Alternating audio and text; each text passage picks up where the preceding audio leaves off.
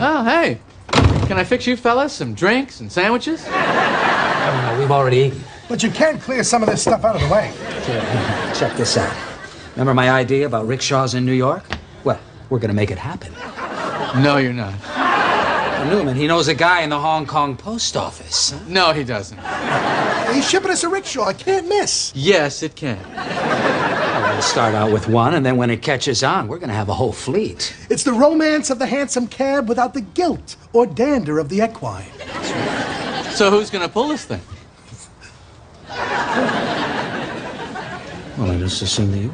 Yeah, but I thought. No. My, isn't this an awkward moment?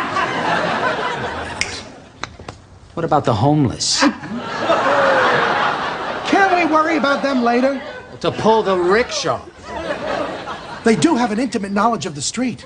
Oh,